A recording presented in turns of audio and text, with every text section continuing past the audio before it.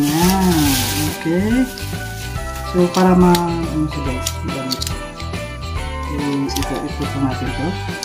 Yan. Stand na siya. Tapos ilagay natin dun sa baba. Ang stand natin guys. Ito yung magsisilbing ano siya guys. Lagayan natin ng ilaw pag ginamit natin. Okay. So, punta tayo ulit doon. Ito naman si charger. Ito si lagayan ng cellphone. Ayan. Hmm.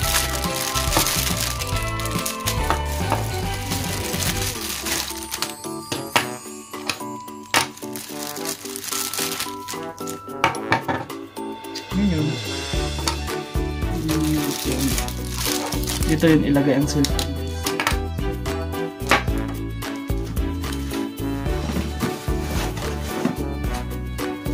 At ito na yung pinaka-main niya, yung ilaw niya.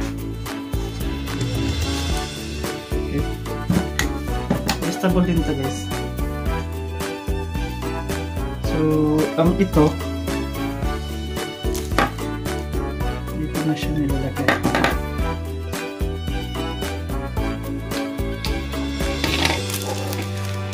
Yung ilagay siya dito. Ipon mo. Tapos ito yung remote niya guys. Yung remote control niya. Saglit lang ha. Ayan. Kabit natin siya guys. Ayan siya guys. Diyan na. Dito siya natin ilagay guys. Ayan. Ayan.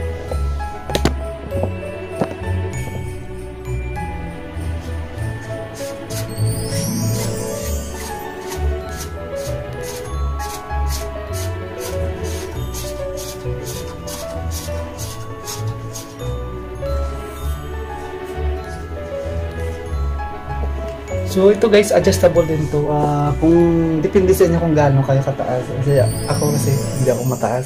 Kaya ayan, adjustan ko siya para bababa siya. Ayun lang. Ito lang yung lock niya guys. Oh. Eh, ganun ko lang siya. Open. Yan, bababa na yan. O see? Ayun, ayan, pag ganyan, sobra naman siyang baba. So, pwede niyo siyang adjustin yan, na ganyan. Ayan. Tapos, i-clip nyo lang to. Yan, pag gusto nyo ganyan nasa kataas, clip nyo lang to sa gilid, may clip siya. Ito. Close nyo lang siya. O, ayan, close na siya. Tapos, ito, adjustable din ang ganyan niya. Ayan. Okay. Ayan, so, tapos, ilagay natin yan.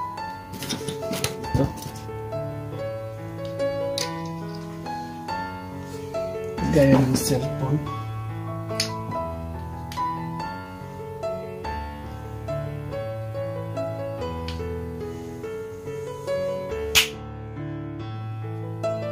Ayan, Kasi ilagay niyo yung below, tapos ayan. Ayan guys, dito natin ilagay ang cellphone natin. Ano? Ah, ikot ikotin lang natin. Pala muna. Ipasok niyo sa muna para mamaya maklose niyo sa ganyan. Ayan, tapos space ilagay niyo sa, sa loob.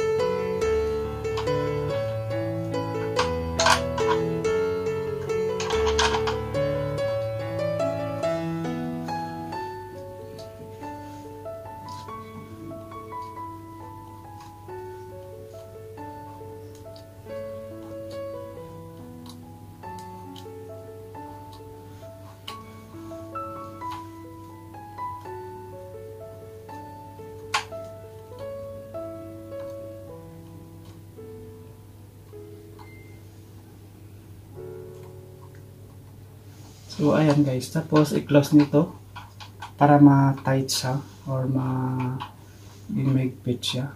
Ayan. Ayan. Tapos lagay niyo itong cellphone niyo dito. Lagay niyo ang cellphone niyo dito. Pwede niyo nang magamit. Okay, so meron na tayong stand para sa halimbawa magpa-vlog kayo o um, kayo.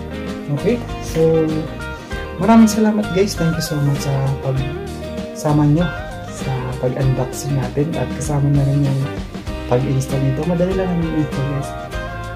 Kaya yun, sa, sa mga nagtatanong, murang-mura lang to guys. Kayang-kaya nyo itong bilhin. Saka hindi naman kayo manghihinayang. Very useful naman to ang. Saka with it's very affordable at yan ah magagamit nyo siya ng matagal kasi matibay ito ayan. Tapos ito ang remote niya. Okay ulit na guys. Maraming maraming salamat